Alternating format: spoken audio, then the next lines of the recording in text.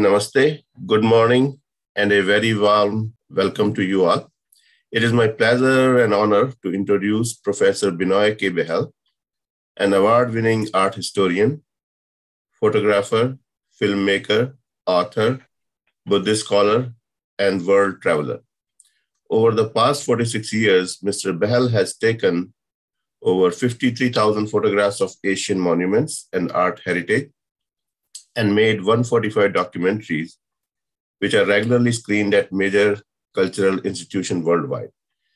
His photographic exhibitions have been warmly received in 74 countries around the world. Uh, these have been inaugurated by ministers of the government from various countries, ambassadors, archbishops, and other dignitaries. He holds the Limca book record for being the most traveled photographer and art historian. Mr. Behl is most well known for photographing the scarcely seen Buddhist paintings of Ajanta for the first time in their true color and detail. His books, The Ajanta Caves and the Art of India, sculptures and mural paintings in two volumes. His film, including 26 documentary on the painting of India, 26 documentary on the sculpture of India, and 26 documentaries on spectacular India have been nationally telecast on prime time in India, as well as repeat telecast. These have also been screened at scores of universities and museums in several countries around the world. In January 2008, National Geographic magazine uh, carried an 18 page story about ancient Indian art revealed through Behl's photograph to the world. He is the first Indian whose work was featured in National Geographic magazine Furthermore, BBC World News carried three major stories about Behl's pioneering work in India and Vietnam. As we embark on this five week course, Behl will take us on a remarkable journey that explores mural painting, the birth of deities, and the expansion of Indian art and appreciation over the course of ancient and medieval times. Mr. Behl has selected specific films for this course from the series of 52 documentary films on Indian paintings, sculptures, and development of Buddhism. Early Indian art embodies deep philosophical concepts and a deeply ethical vision of life. As a member of Indian community, it is both an enriching and important experience for us all to learn of our great heritage. Now, without further ado, Please join me in welcoming our prestigious educator, Mr. Behl, to the screen. Thank you. Thank you very much, uh, Mr. Arun Parker. It's such a pleasure to, uh, to address again the audience of uh, the Hindu temple at uh, uh, Minnesota. Five years ago, when I had the pleasure of uh, visiting there and speaking to your uh, audience. Good morning, ladies and gentlemen. It was in uh, 1991 that I had the privilege of photographing the 5th century paintings of Ajanta. I was told for the first time in their true colors and details you would be happy to know that uh, museums and universities around the world immediately invited me to come and speak and to show these uh, marvelous paintings. So in the USA, it was the Smithsonian Institution, the Metropolitan Museum of Art, the Harvard University, the Los Angeles County Museum of Art, and so many others. And it was also the the British Museum in London, the Victoria and Albert Museum, the University of London, and, uh, and a score of other such uh, institutions around the world. Now, you would be most happy to know that uh, the, uh, the, the most important uh, art critics and uh, art historians were gathered in these capitals of culture of the world to see these uh, Ajanta paintings. And there was a unanimous response to them they all felt that surely these must be the finest art of humankind.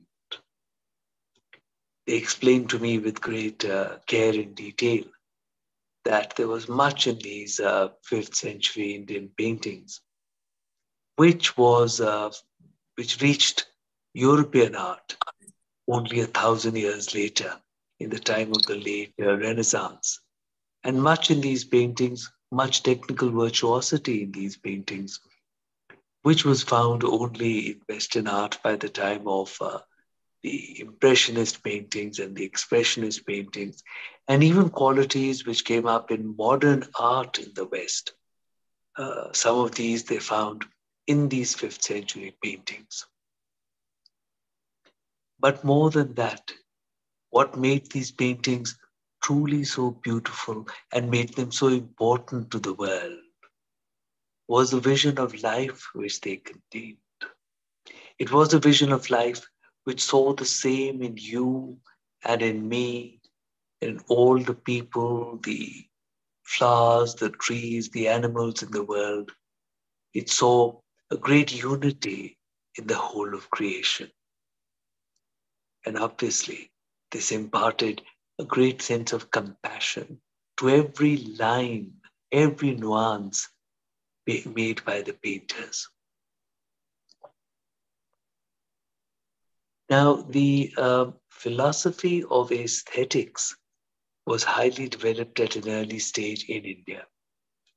In this philosophy, it is understood that our experience, when we look at something truly beautiful, whether in nature, like a beautiful sunrise, or in art, like perhaps uh, an Ajanta paintings, our experience in that moment, our response in that moment is akin to Brahmanand itself, the final ecstasy of salvation itself. For in that moment, the veils of illusion are lifted, and we are seeing the uh, grace which underlies all of creation. Therefore, you can understand that uh, art was considered enormously important, and there was the making of uh, hundreds of thousands of uh, sculptures and paintings right across the large number of temples and caves which were created across uh, the Indian subcontinent. Now, in these uh, paintings that you're going to see, you're going to see many beautiful deities. When you look upon these deities, it is important to remember that in the ancient philosophic tradition, the Indian philosophic tradition coming from the Upanishads, there are no gods, there are deities. These deities are personifications of concepts and the qualities within us. The, we look upon these uh, sculptures and paintings, we look upon these deities and we meditate upon these deities and it, we respond to them. And in that response, we awaken those qualities within us the grace, compassion, kindness, wisdom that there is deep within us is awakened. And it is hoped that one day those qualities will fill us completely. And at that point, you have become the deity. So, such was the importance of uh, art in uh, ancient uh, India.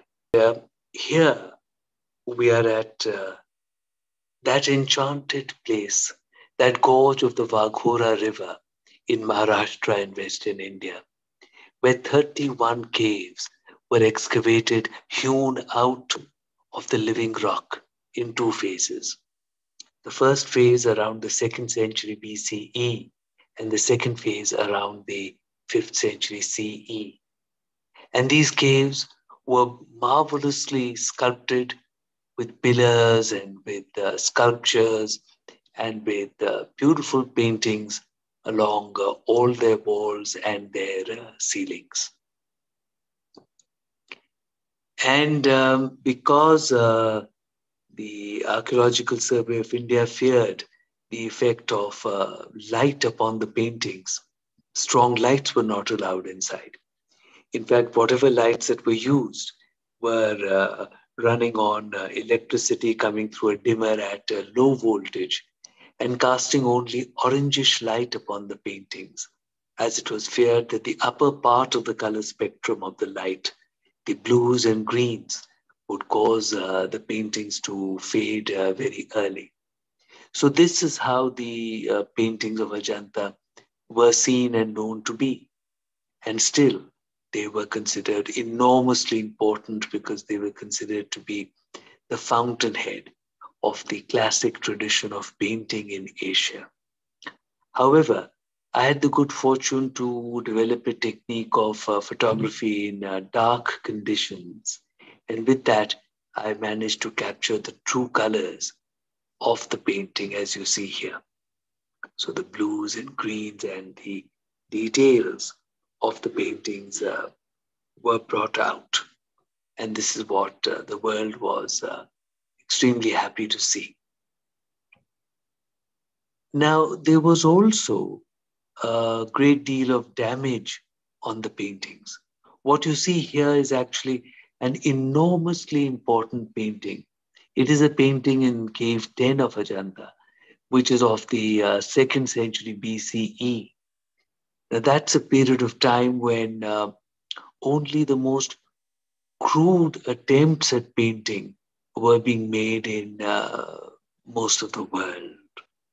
It's uh, a very, very early time in the history of painting. And uh, these paintings could not clearly be seen because of the amount of uh, damage, graffiti on them. 20 years ago, I uh, sat down with a great deal of uh, patience and care and digitally restored the damage of these uh, on these paintings. So this way the paintings became uh, clearer for the eye to see. And what a treasure emerges. What a treasure for the second century BCE if you were to look at these paintings, there are uh, expressions uh, already, sensitive expressions already in that uh, period of time. There is the exchange of glances. And most marvelously, the inward look, which is the hallmark of uh, the ancient art of India, is already there in this very early period of art. So this is uh, this is the great uh, heritage which becomes uh, visible uh, through this uh, uh, little digital restoration to to bring the paintings clearly before us. Now coming back to the fifth century, we are again in cave one of Ajanta. And this is the Bodhisattva Vajrapani. Bodhisattva, as you know, is a being on his way to salvation. And Vajrapani means the bearer of the thunderbolt. The thunderbolt is one of the uh, earliest and very favored images in Indian philosophy and in Indian art. In fact, uh, the first deity that we see in uh, Indian art is uh, Lord Indra in the Buddhist caves at uh, Bhaja in Maharashtra. And Lord Indra is again uh, the bearer of the thunderbolt.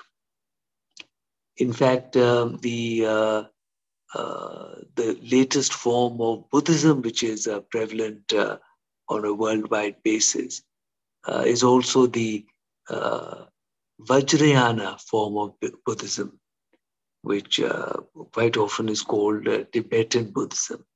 Vajrayana also is uh, the vehicle of the thunderbolt because its uh, logic is supposed to be as striking and as clear uh, as a thunderbolt.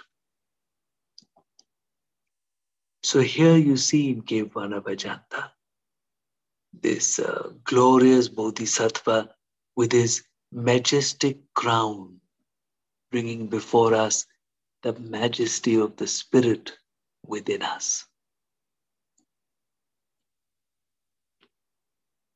And again in cave one, the Bodhisattva Padmapani, while uh, the Vajrapani brought uh, before us the majesty of the spirit, the Padmapani brings to us the peace of the spirit within us.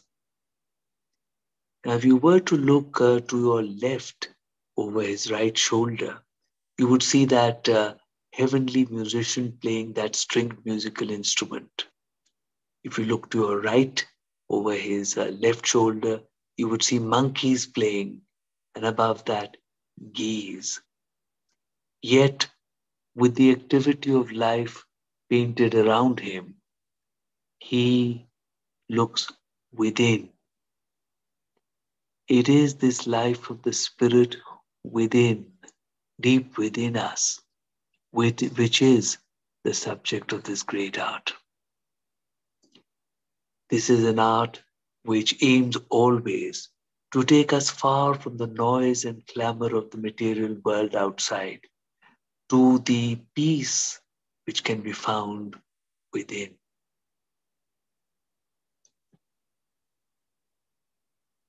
Again, in Cave 1, these paintings of the uh, 5th century, a couple in harmony. And this is a sense of harmony which pervades the world of Ajanta.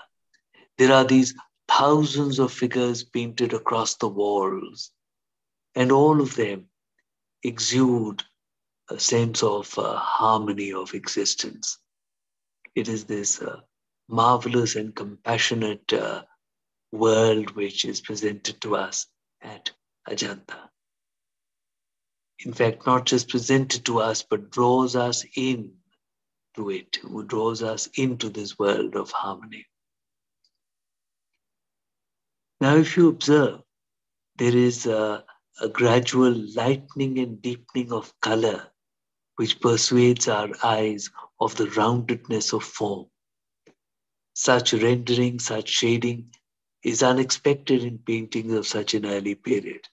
But in fact, it is part of the, uh, uh, the tradition of art, which is seen at Ajanta and seen to spread out from Ajanta to all corners of India and from India on to the other countries of uh, Asia.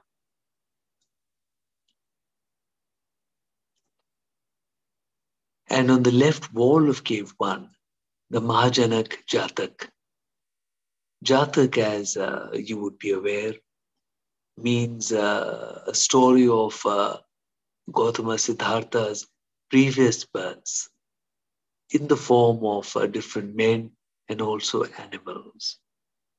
And here you see him having taken birth as uh, King Mahajanak, who is a figure near the center of the frame, uh, slightly to the right of the exact center of the frame sitting on the ground with his hands before him, looking up at the hermit and listening to his sermon.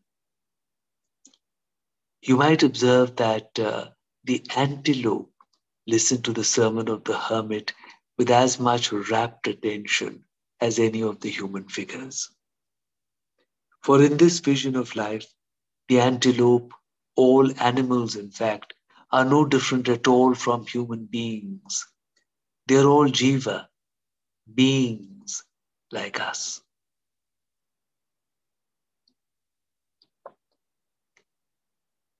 I take you to this uh, closer view of uh, King uh, Mahajanak to show you that this, this was, in fact, uh, a glorious king, a powerful king who had uh, won back the lands earlier lost by his father.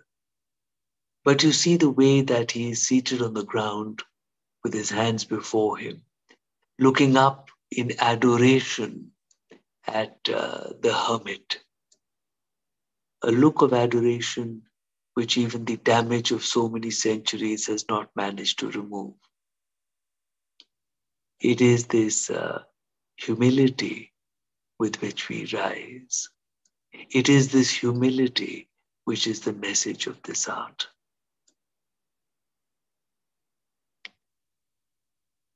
Having heard that uh, sermon, King Mahajanak decides to renounce his palace life, his worldly life, and to go out into the forest as an ascetic. Here we see him announcing this decision in the palace.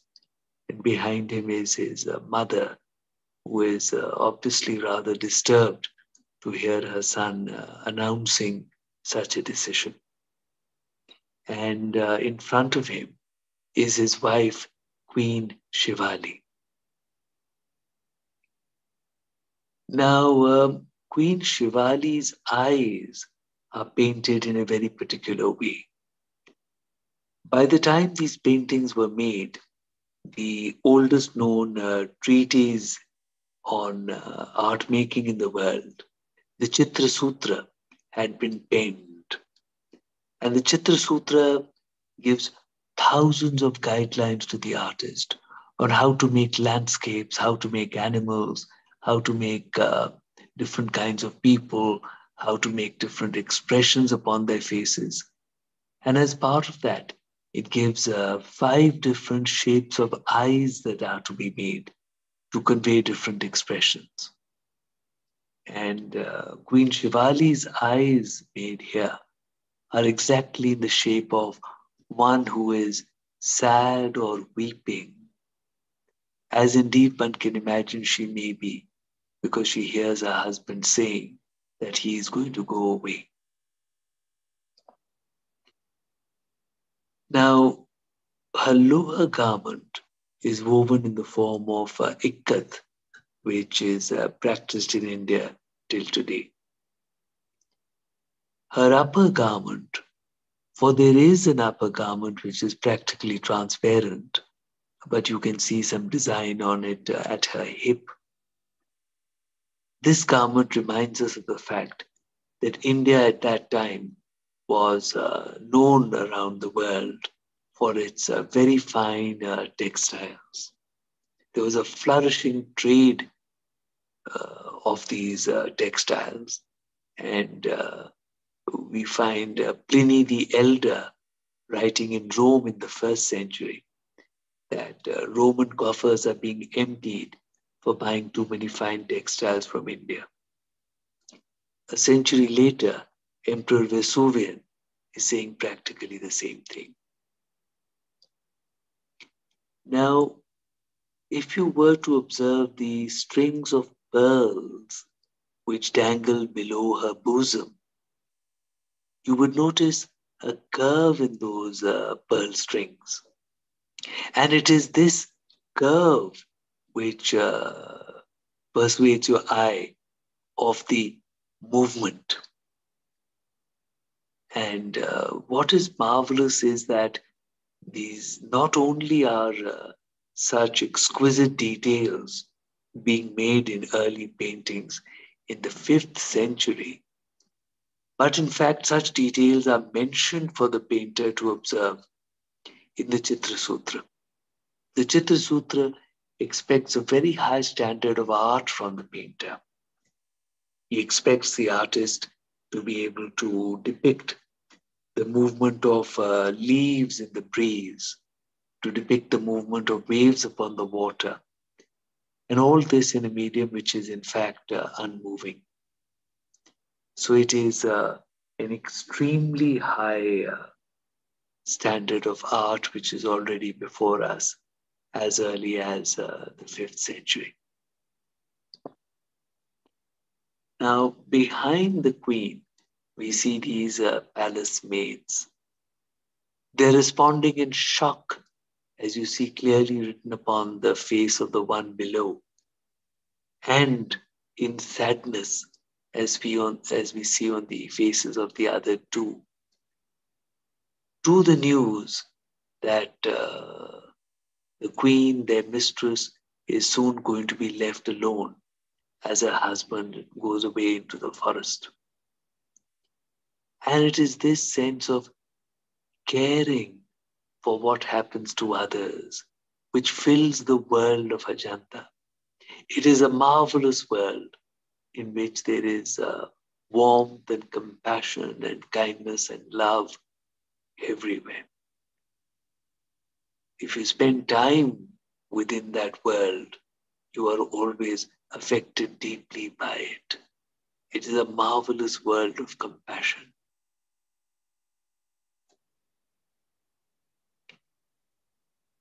Having taken that decision, having decided, here we see King Mahajanak riding out of the palace. You see that uh, inward look has already come into his eyes. And there's a deep sense of peace that is on him. He begins another journey, a more important journey, a journey within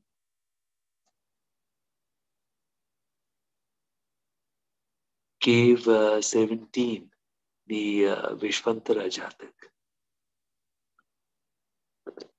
Excuse me.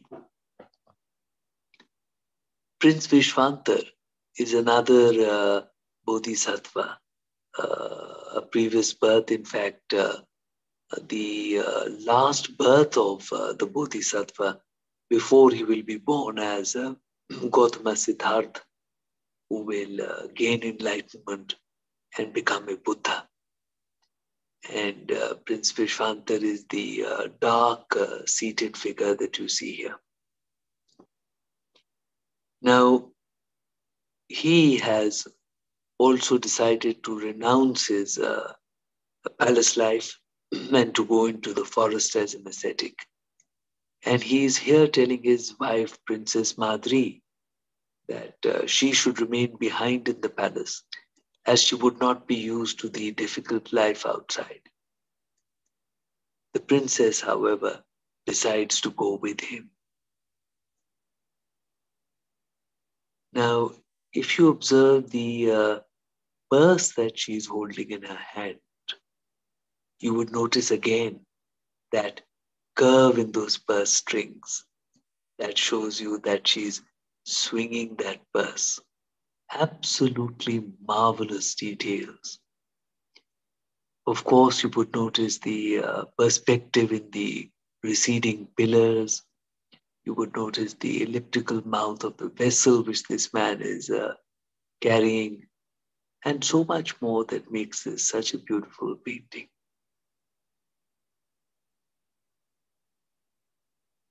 In cave 17, the Mahisha Jataka Lord Buddha born in a previous life as a Mahisha, a buffalo. You see the uh, pesky monkey troubling him, but the kindly Bodhisattva does not mind. In fact, perhaps the most marvelous thing about uh, the Jataka stories and these wonderful paintings is the depiction of the finest human qualities in the animals. It is something which leaves us with absolutely no sense of differentiation or distinction between us and the animal world. There is such a unity of all of creation which is expressed here. And the best of qualities, in fact, if I may say, qualities better than the ones that we see within ourselves, are portrayed so beautifully in the animals. And if you observe, uh, you would see the smile on the face of the Mahisha. And you can be sure that the artist intended for you to see it. Mahisha Jataka, cave 17, 5th century. And I show you another uh, story from the uh, from cave 17 from the Shaddant Jatak. Now, this uh, Jatak presented before us uh, the uh, uh large elephants. You can see the feet of uh, one of them uh, to the upper right of the frame. So while the artist was showing such large creatures, he did not forget other creatures of the world. If you look at uh, the branch of the tree close to this man's head, I'll take you to a closer view. And yes, indeed, those are ants climbing up that tree. If you were to uh, go to Ajanta, most likely you will not see them. But that did not prevent the artist from making them, for the world would not be complete without the ants. It's such a wonderful vision of life, the completeness of life, the wholeness of life, and understanding that all of creation is required and all lives and all live together. And uh, the artist could very well imagine himself born in a previous birth as an ant. Much that we could learn uh, from these uh, artists.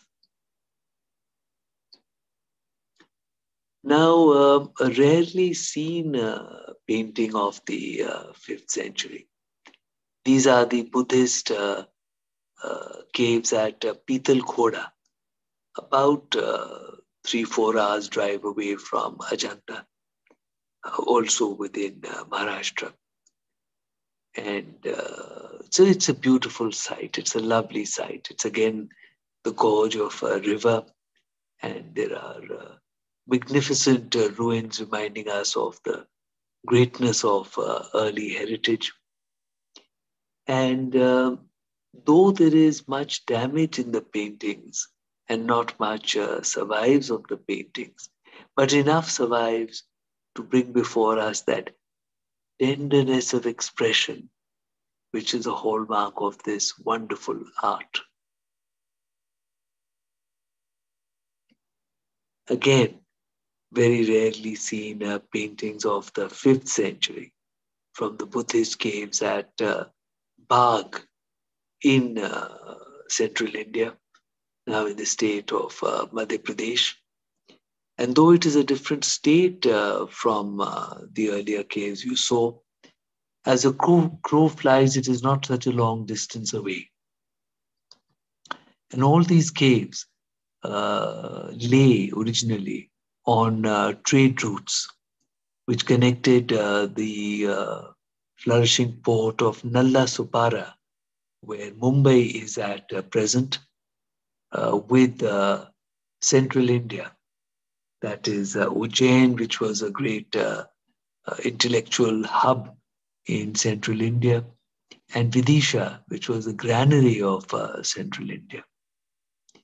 And uh, traders use the caves for uh, taking shelter while they traverse these uh, routes. And uh, for a fifth century painting, you may be very surprised to see the foreshortening of the bull. And uh, the graphic quality of this art may remind you much more of modern art rather than uh, fifth century art. Amazing uh, amazing paintings. Now, the uh, earliest uh, painting which uh, survives of the Hindu tradition is of the 6th century from the uh, caves at uh, Badami in Karnataka. And of course, these paintings, Buddhist paintings, Jain paintings, Hindu paintings, were all made by the same artist. There was no distinct uh, or different uh, tradition of uh, art. In fact, there were guilds of painters and they painted for uh, all the faiths. And again, though there is so much damage, you see that gentleness, that kindness of expression, that tenderness of expression, which is, uh, in fact, the theme of this uh, ancient art.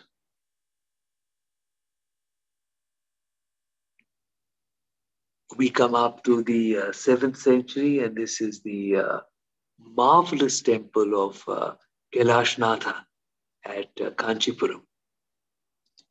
And this is a painting of uh, Lord Shiva, which is uh, made, uh, these paintings are made in very deep recesses in an outer ambulatory wall made around the temple they're deep recesses, in fact. You have to poke your head in with a fair amount of difficulty, and then you see these uh, you see the treasure of this art. For indeed, it is beautiful and it is very important uh, in Indian art history. And uh, Kanchipuram was an extremely important uh, uh, city of ancient India. It was a great uh, center of uh, Buddhism, a great center of Jainism, and a great center of uh, Hinduism. In fact, um, if you look at the uh, if you look at the greatest of uh, Buddhist teachers that came out of India, if you look, for instance, at uh, Bodhidharma, who spread Buddhism across Southeast Asia, and uh, Bodhidharma remains till today as uh, as my partner Sujata and I discovered. Bodhidharma remains till today as uh, the most revered uh, deity of Vietnam after Lord Buddha. He is the next most revered deity with a lot of temples uh, dedicated to him. And from Vietnam, he went up into uh, China, where he uh, founded uh, Dhyana Buddhism, called uh, Chan Buddhism in China. And later, when this form moved to uh, Japan, it was called Zen Buddhism. Or if you look uh, two centuries later at uh, Bodhisena, who was invited uh, by the Emperor of Japan to come and inaugurate the great uh, Todaiji temple at uh, Nara. These great teachers, Bodhidharma and Bodhisena, are uh, known to have come from uh, Kanchipuram. Kanchipuram was uh, very cosmopolitan and uh, great uh, center which was interacting with the rest of the world at that time. and here in, the, in, this painting, you see a new sense of uh, regal grandeur which begins to come under the Pallavas and in this tradition of art. I might mention here that under the Pallavas begins another very important uh, tradition, which is that uh, till before uh, the time of uh, Mamallapuram, all uh, uh, ancient Indian uh, temples and caves were the were patronized by the people, not by the kings. Though casual historians of the early period and colonial historians uh, have often made the mistake of saying that so and so ancient temple is made by so and so king. But when you look at the inscriptions, and there are thousands of such inscriptions which survive, you see that it is uh, fishermen, it is uh, tailors, it is nuns, it is housewives. Uh, and interestingly, half the donations are from women. They are the people who patronized uh, uh, all the ancient art and all the ancient temples and caves of India. This greater monumental heritage which survives from ancient times is in fact uh, made uh, by the people and for the people. Now, it is only uh, in the 7th, 8th century under the Pallavas in Tamil Nadu that for the first time uh, kings begin to directly patronize temples. You will begin to see this at uh, Mamallapuram and uh, and it is uh, it is this which leads to this uh, new sense of uh, royal grandeur which you're seeing before you in this painting of Lord Shiva. And a painting which has hardly been seen at all. And here I am very grateful to National Geographic magazine for having uh, published this photograph, which took this uh, unseen painting immediately before the eyes of uh, uh, millions of people. And this is again of the uh, seventh century of the time of uh, the uh, Pallavas. This is uh, from the Talagirishwara temple at uh, Pannamalai, high on a hill in a very remote part of Tamil Nadu. It is Parvati when Shiva dances his uh, cosmic dance, the dance cannot be without uh, Parvati as the eternal witness. And when she is made as that eternal witness, she is called Shivakami, as you see her here. And the tenderness of expression on her face, in her eyes, as she looks upon Shiva dancing, makes this one of the beautiful masterpieces of Indian art. 7th century, Talagirishwara temple, Pannamalai.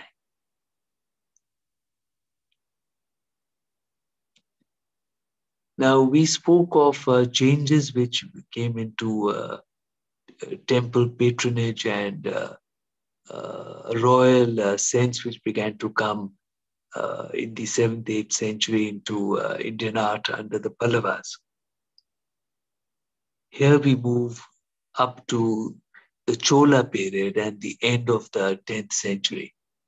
And this is the Brihadishvara temple dedicated to the great Lord Shiva in uh, Tanjavur.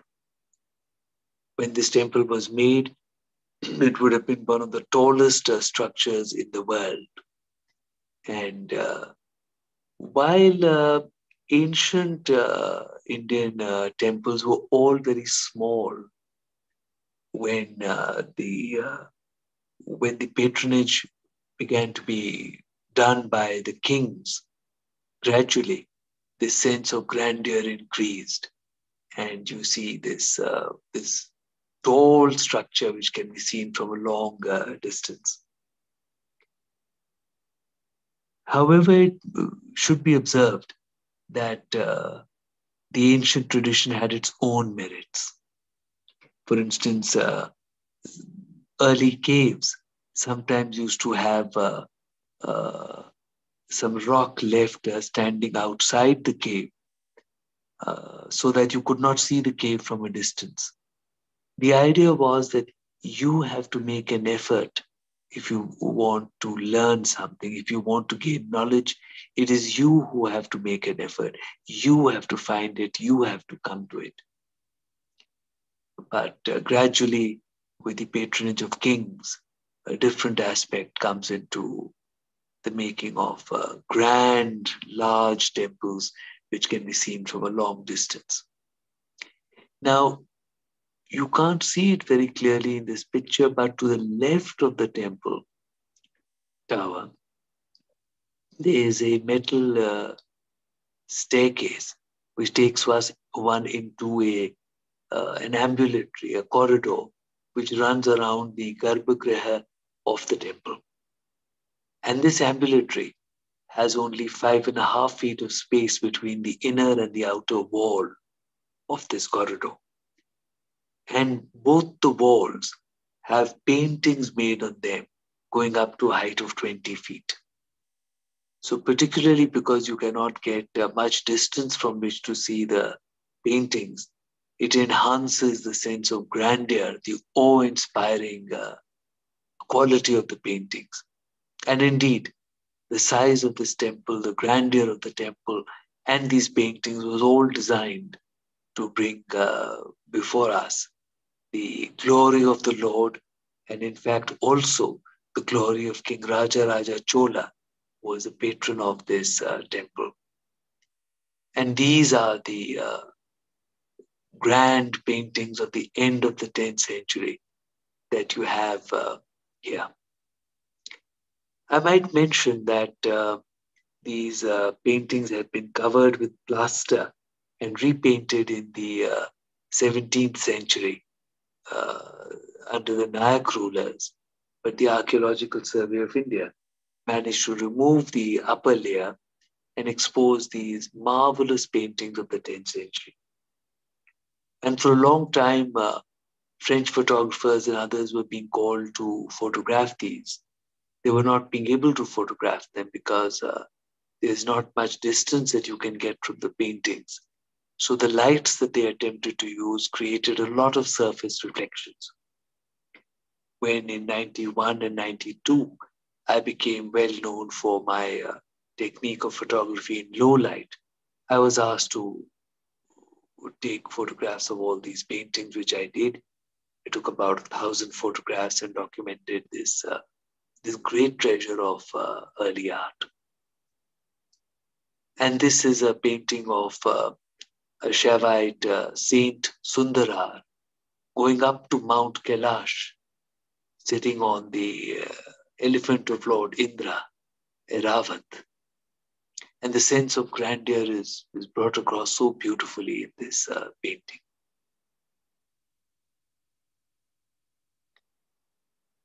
And uh, a detail from these 10th uh, century uh, paintings, which shows how much the artist was in control of his medium and being able to depict exactly, to convey exactly what he wishes to.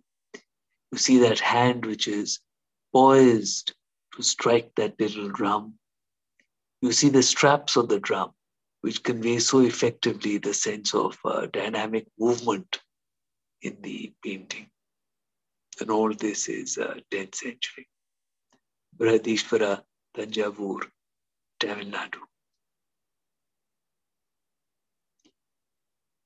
And here in the uh, 10th century paintings of uh, the Brihadishvara temple is the earliest surviving uh, portrait uh, in painting uh, in Indian art.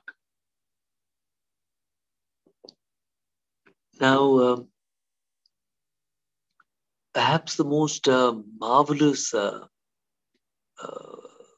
fact about uh, Indian art is that for 1500 uh, years, though uh, hundreds of thousands of works of art were created, which brought before us animals, birds, trees, so many things in, including uh, the common people and Jatak stories. Still, uh, there was never a portrait, not even of the king under whose rule uh, uh the art was being created. And this was because the personality, the ephemeral personality, was not considered important enough. In fact, the Chitra Sutra is very clear in its stating that uh, that uh, individuals are not important enough to be presented in art. Art is meant. Art is something very important. It is meant for the eternal themes, to bring the eternal realities before us. Therefore, for 1500 years, so much art is created, but you do not have the representation of any of the kings, any of the personalities, uh, any of the historical personalities. As a matter of fact, uh, the artist also does not write his uh, name upon uh, the paintings. We do not know who the artists were. Uh, the, the name is not considered important to the extent that uh, even kings of the third century BC period uh, do not write their name below their inscriptions. They write only Devanam Devanampiya Piyadasi, one who is beloved of the divine, and one whose vision is filled with, ad- with adoration.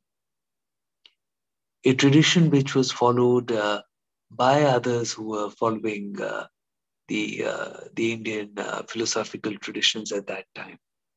At that time, the king in Sri Lanka was calling himself Devanampiya Piyatissa, so much so that when the Indian inscriptions were uh, uh, deciphered for the first time, historians thought that they were actually inscriptions of uh, the Sri Lankan king, whose inscriptions had been deciphered before.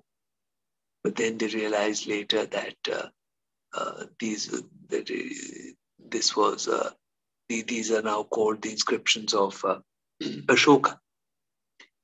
And uh, even to the northwest of India, we find this tradition being followed uh, in the language of Aramaic, in which uh, Jesus Christ was to speak uh, uh, three centuries later. We find a king following this tradition of uh, Devanampiya Piyadasi. What a marvelous tradition, what great humility. But there is an evolution And by the time we come to the 17th century, uh, under the Pallavas at uh, Mamalapuram, we see the earliest uh, uh, sculptural representation of a king. And here, in the end of the 10th century at uh, Tanjavur, we find this painting of uh, King Raja Raja Chola, which is the earliest surviving uh, uh, portrait in uh, painting in the Indian uh, tradition. You see him here with his guru, Guru Karuvurar. In later centuries, of course, the uh, images of uh, kings become very common, and by the time you reach the medieval period, there is any number of very pompous paintings of kings. And here we move into the, uh, we move beyond the Himalayas into the trans Himalayan uh, lands of uh, Ladakh and uh, other places. And we see here uh, the uh, monastic complex of Alchi of around the 11th century. Now, 108 legendary monasteries are supposed to have been constructed uh, in this period of time. A marvelous chain of monasteries. And uh, they were all sculpted and painted by artists who were invited from the valley of Kashmir, which was at that time one of the greatest uh, centers of Buddhism and art in the world. So, uh, this is fortunate for many reasons because the art which survives, the paintings which survive inside these monasteries are in fact uh, the only remnants of uh, the ancient uh, paintings of uh, Kashmir. And these are these marvelous uh, paintings. This is a green Tara painted uh, in the Sumtsek building of Alchi. And you see here the beautiful uh, rendering of form, that exquisite rendering that you saw beginning at uh, Ajanta. The continuing of this uh, classic uh, tradition. And if you observe the further eye, you see that it is protruding beyond the line of the face. Now, this is uh, an important uh, aspect of uh, the uh, medieval uh, idiom in Indian uh, paintings. So you see the ancient tradition, you see the evolution into the medieval tradition here. And in the profusion of textiles, you see that uh, this was uh, on an artery of the Silk Route, which connected uh, from east to west uh, uh, the lands of China with Europe. And an artery of the Silk Route came down through uh, Kashmir and uh, Ladakh, all the way down past uh, Nalasopara to uh, Kerala. In fact, uh, paintings preserved at uh, Alchi depict aspects of Kerala culture, like uh, Pite is made on the ceiling of one of the monastic buildings at Alchi. Now, if you look to the sides of uh, this painting, you see these uh, figures mounted on uh, mythical creatures and a great sense of joyousness. It is this joyousness which is uh, of uh, particular note in the art of the uh, Kashmiri painters. It is, it is an art full of this joyousness. You're reminded of the fact that Abhinav Gupta one of the greatest uh, uh, Indian philosophers of aesthetics, who wrote considerably about joy, was in fact uh, living in the valley of Kashmir about uh, a century before these paintings were made. And uh, moving uh, down to the extreme south of India, this is 16th century, it is Venugopala, Lord Krishna playing the flute in the painted in the uh, Palace at uh, Kochi. And uh, Kerala continues qualities of the ancient uh, paintings much beyond uh, most other uh, parts of the country. Here you see that uh, beautiful, that exquisite uh, rendering of form. The flesh is almost tangible. And you see that beautiful smile upon his face. And I might mention that uh, Venugopala remains still today one of the most uh, popular uh, Indian deities in countries even as uh, far away as Japan. I remember it was uh, Sujata who first discovered and pointed out to me the uh, Venugopala of the 8th century, made in a huge uh, lamp at uh, the Todaiji temple at uh, Nara. It was also Sujata who pointed out to me for the first time the modern day poster of Venugopala in a restaurant in Kyoto. So Indian deities are in fact uh, very commonly uh, worshipped uh, in countries like Japan and, uh, and Venugopala remains one of the uh, very favored uh, deities. And here we move to the spread of this tradition beyond Indian shores. And you have here a painting from the Sigiriya cave of the 5th century in Sri Lanka. And the uh, art historians of Sri Lanka always point out the deep similarities of this art with the paintings of uh, Ajanta.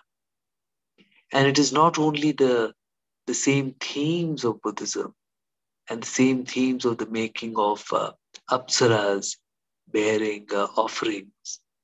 And it is not only the beautiful rendering of form.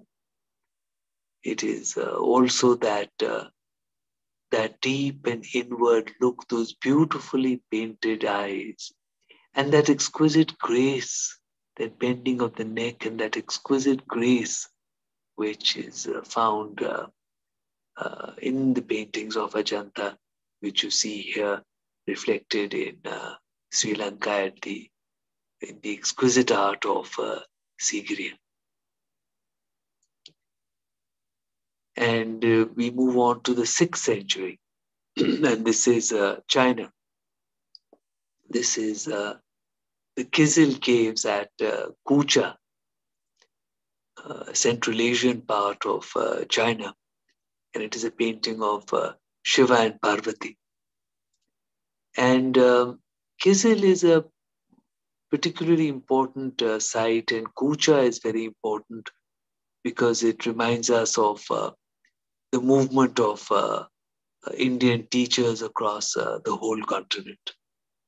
Uh, Kucha was the home of Kumara Jiva, the most important name in Chinese Buddhism, the person whose translations of the Lotus Sutra and so many others remain the most popular in China till today. And Kumara Jiva was the son of uh, an Indian uh, Kashmiri Pandit called Kumarayana. And there are these uh, marvelous cultural links across uh, the continent of Asia.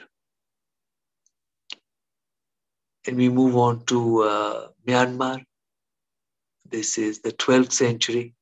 It is uh, the site of uh, Bagan, which has uh, beautiful paintings, which is uh, which paintings which are very similar to the contemporaneous art of the Pala period in uh, the eastern plains of India. And this is the scene of the birth of the Buddha as he emerges from under the arm of Queen Maya. And um, the earliest paintings which survive in Tibet are in the Dunkar caves in an extremely remote and very high altitude uh, part.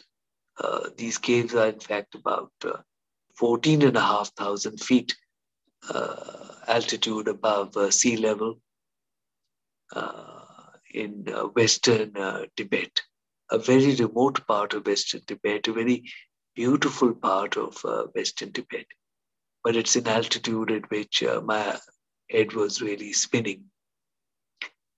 And uh, these paintings are supposed to have been made uh, in the 11th century by the same uh, Kashmiri painters. However, in my opinion, these were made by uh, people who would have trained under the original Kashmiri painters because uh, the theme is the same, the form is the same, but much of the uh, the original exquisite, unusual grace of the Kashmiri painters is not quite there.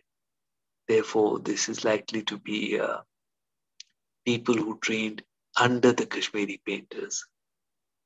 And ladies and gentlemen, this brings me to the end of uh, today's uh, presentation.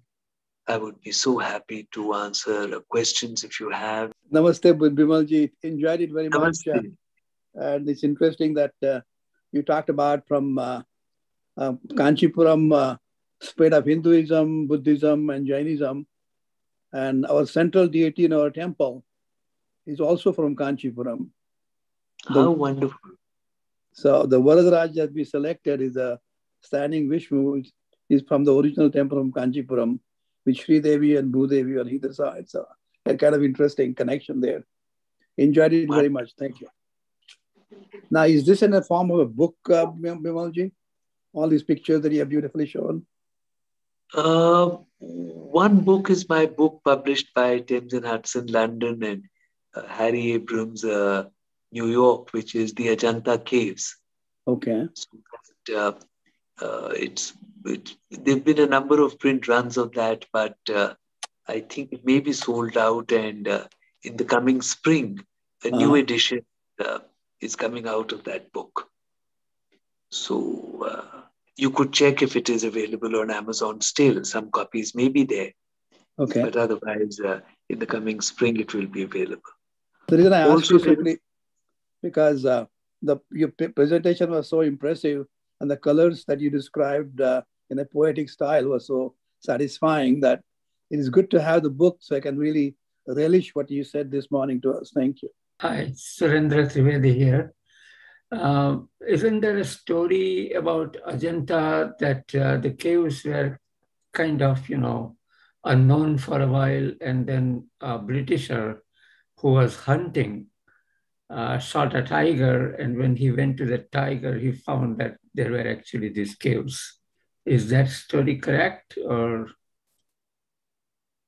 Um, as far as the British are concerned, the caves were uh, rediscovered for them by by this British soldier you mentioned. His name was John Smith, and uh, uh, this was April in the year now 1819. Uh, and uh, you are so right, he was on this hunting expedition, and there were many tigers uh, in that gorge of the Waghora River. Yeah. And he was he, he was so wonderstruck to find uh, that these caves were there. Uh, however, the caves were not always uh, forgotten. As a matter of fact, I found the influence of these uh, Ajanta paintings in uh, medieval paintings of uh, the Deccan, the Hyderabad region, for instance. So it is it is under the British they had they were they were not known until 1819 when uh, John Smith uh, found them. Thank you. I, this marvelous presentation raised so many questions for me, and I have two very specific ones. You made a point of the fact that it was local people who supported the building of temples in an earlier period before the, the influence of the kings. And what I wondered is this uh, it's one thing to give monetary support. It's something else to have a conception of a temple and a design and to bring everything together. There had to be some leadership in order to accomplish that. And I wondered where that came from. Right. Uh, now, first of all, I'll say a little bit more about uh, the kind of details that we have about this uh, about this patronage. and then I'll come to the main part of your question. Now, if you look at a monument, for instance, like uh, the Great Stupa at Sanchi, uh, 639 inscriptions still survive there out of what may have been a larger number. And these, as I mentioned, uh, as in the general case or right across India, are inscriptions of uh, fishermen and tailors and nuns and housewives and so many people uh, stating that, uh, you know, I'm a tailor and I'm patronizing the making of this architrave of the gateway. Uh, I'm a housewife and I'm patronizing the making of this uh, pillar, etc. So this is uh, this is commonplace. This is everywhere, right across the board in all the ancient uh, monuments of uh, India, and um, they the direction of uh, what to do was uh, in the fact that these were guilds of artists. And in the ancient tradition, these guilds were very important. In the ancient tradition, it was the dharma of uh, or duty or heritage of uh, different uh, people to do what they had to do. And these guilds were enormous rep- repositories of uh, knowledge and art. In fact, it has been found that uh, uh, the knowledge of iconography, for instance, was in fact best maintained even more than the priests knew the iconography. It is the guilds who knew the iconography. It is the guilds who knew the stories, the Jatak stories, and so many others. It was art was a deeply revered uh, calling and it had great responsibilities. You were carrying on the finest and distilled knowledge of uh, ancestors. And that is where this, uh, that is where the concepts which you were asking about, that's where the concepts came from.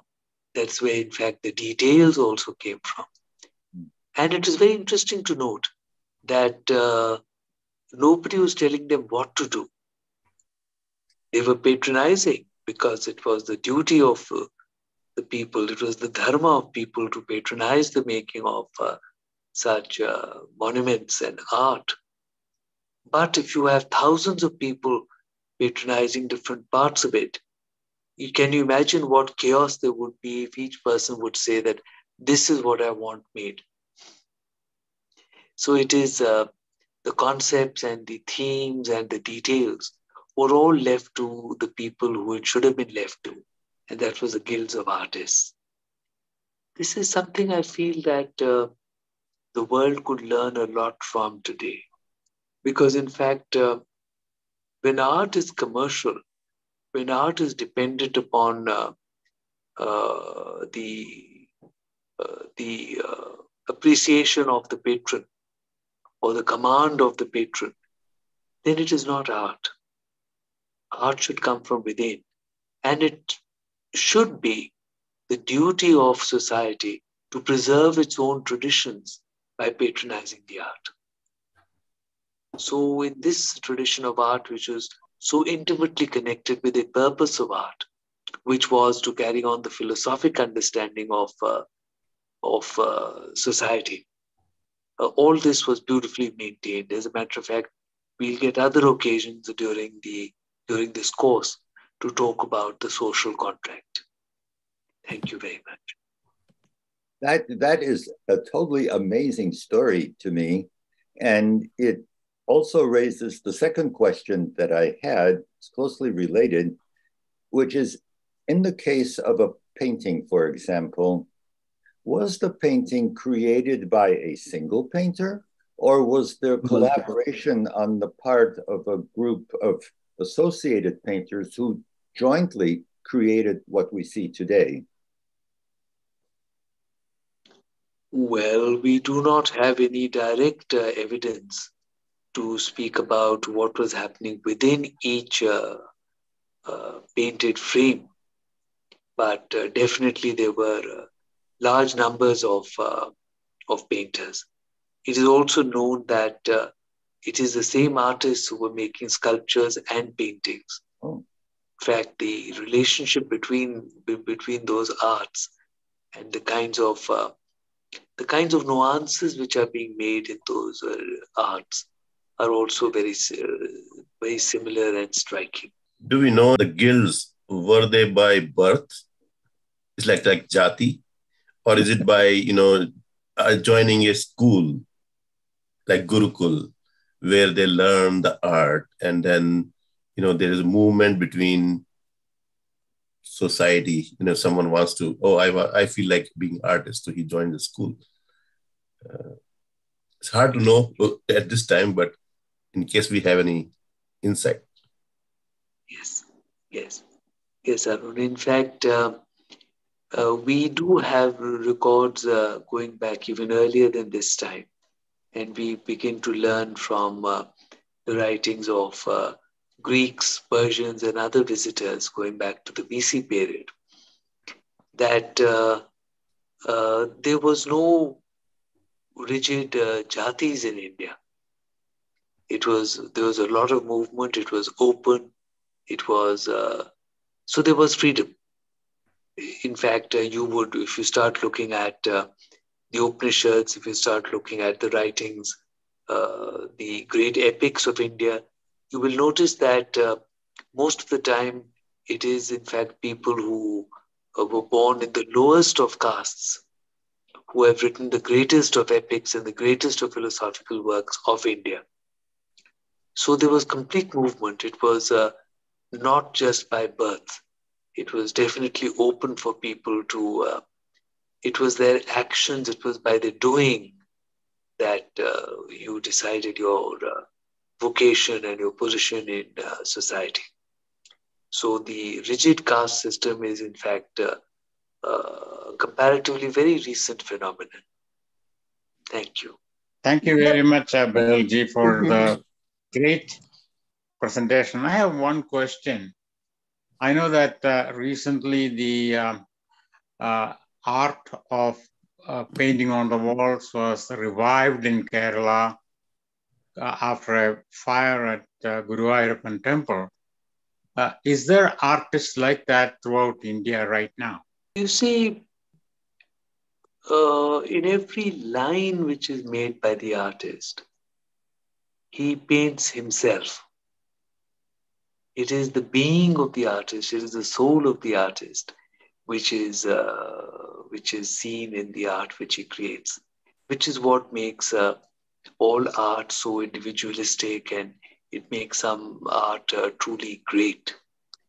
So I do believe that uh, in ancient times we had uh, we had a depth of understanding and we had a depth of compassion and kindness and there was a grace which uh, may not be very easy to uh, find in uh, life today. Ah. Therefore, uh, what we have today is a much more uh, commercial mindset. It is much more confusion. That uh, that natural grace which uh, which transports us, which helps us to which helps us to understand the truth which is behind uh, all our material concerns, which help, helps us to give up our material concerns and to concentrate on the joy and grace which there is inside. Now, I we would really need to, and I believe we should, try to create uh, uh, this in society, because the painted art or the sculpture is only a manifestation of the art that has to be within. So it is, uh, it is really this which we should work upon, right from our uh, early, uh, earliest uh, school-going children uh, to later the concepts which are also called yoga, which is kindness and grace and so many other things, should be inculcated in, in the way that we live, in the way that we understand our life. And then we would be in a position to, uh, to create that kind of art again. That would indeed be wonderful. Thank you. That, Thank you very much. Uh, that's the insight. That's a feeling that I have. I was uh, feeling myself. You expressed it, and you can you defined it much better than it was in my mind when I asked that question. to some extent. Thank you very much for bringing that out and expressing it properly. And that's what I find not just in art, but that missing in Indian life now. Uh, it, just like you said, art can only reflect what you know. It, should reflect what is in the in the life. Thank you. Yes, the the entire world has become a, a much more commercial and a much more uh, confused place. We need to dispel these confusions. In fact, uh, the dwarf uh, that Shiva tramples under his foot while he dances is Apasmara, the, uh, the demon of the forgetfulness of the truth. It is not, hmm. not, not even ignorance, it is forgetfulness of the truth. Because somewhere that, uh, that capacity to see the truth is within each of us. And, and, and the Shiva within us has to trample that apasmara and we should be able to see the truth and the grace again. Thank you. Thank you. Thank you. Maybe people will be inspired by people like you to bring that out. I think we need more of more of that. Thank you. Thank you. Thank you. And Binoyji, one more question. I remember receiving an email uh, after your travel to Europe so there you have found the motifs in the early churches of the Europe, and they were same as motifs you found in the Indian paintings much earlier or something. If you remember. Uh, yes. Yes. Yes. In fact, what I is the uh, connection of European art and Indian art? Right. Yes. In fact, I had published. Uh, uh, articles also about this uh, around that time, many years ago. Yes, you have a very good memory. Uh, you see, um, European art historians were not very aware of uh, ancient Indian art as is seen in the uh, sculptures of the Buddhist, early Buddhist stupas and then later on in so many uh, Hindu temples and Jaina temples. So they were not aware that uh, you know, what we see in uh, early churches in Portugal, I found it in Portugal, I found it in Spain, I found it in Italy. The, um, the essential themes of art of the ancient uh, period, showing the, showing the profusion of the life of the world, showing uh, uh, showing uh, creatures that are uh, composite creatures, and uh, uh, in fact, I'll, I'll, try to weave this in because this will need this will need much more illustration. So I will try to weave this in at some point during the course that I give, and I'll also try to locate links to to these articles if I can find them, and I will send them to you, and maybe you can circulate these links also to others in the audience.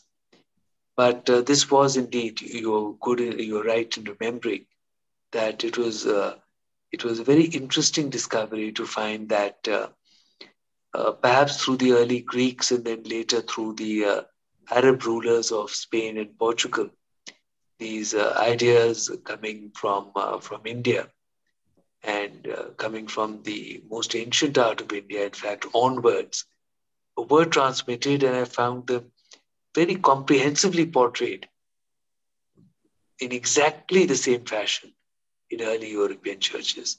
So I'll try to find you these links and tell you more in detail about it. Thank you.